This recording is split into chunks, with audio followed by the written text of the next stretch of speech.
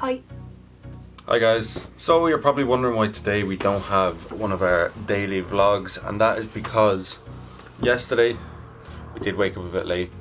I had to go to work but the main reason that there's no vlog is because Nadine actually ended up in the hospital.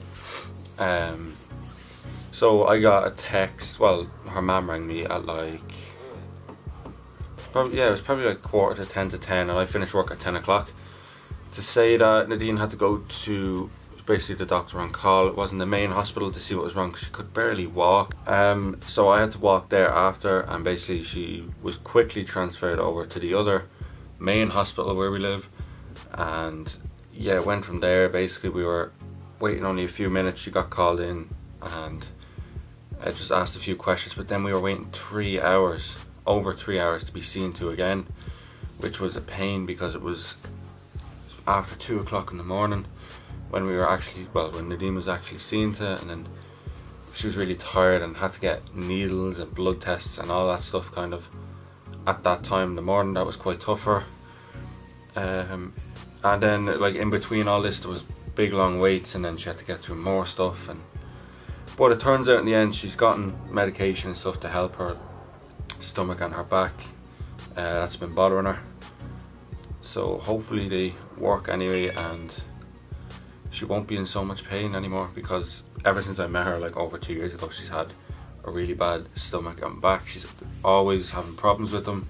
It affects her if she wants to go out places or anything like that. So it affects everyday life really because she can't relax and just enjoy herself. Like I still feel groggy now after eating, of course yeah. But like nowhere near as bad with the pain.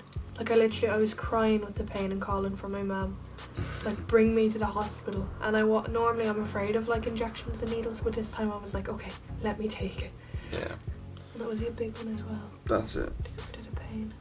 she did have to get a big injection into her back actually as well so that lower back. her lower back.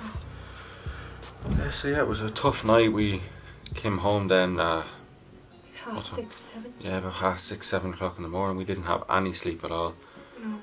and Well, we got a few hours, but like it just we didn't get any sleep in the hospital. no. We only slept when we came home at like seven a.m. Then when you woke up, I woke up in like really bad pain again. She, did, yeah. And Aaron got me a hot water bottle to help me out after negotiating. So hopefully after a few days, will she will she will heal a little bit.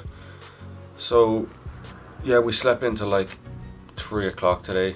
So we Well, haven't. it was all broken sleep because I woke up around like early in the Oh, I just slept like a baby. Apart from the time Nadine woke me up to get her a bottle. Hot water bottle. Not a bottle, she had a baby.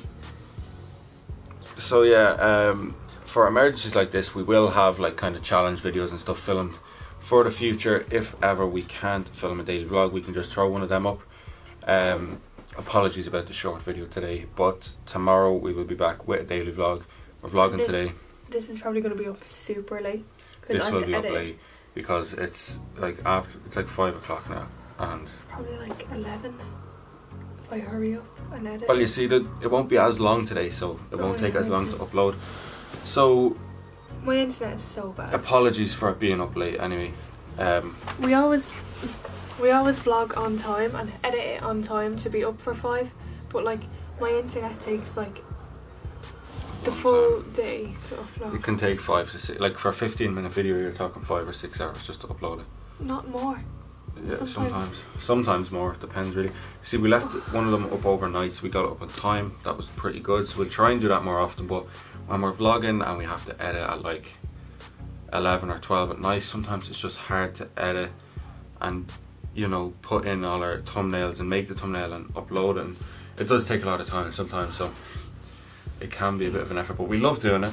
It's just the internet is the only thing kind of stopping us doing it on time at the minute.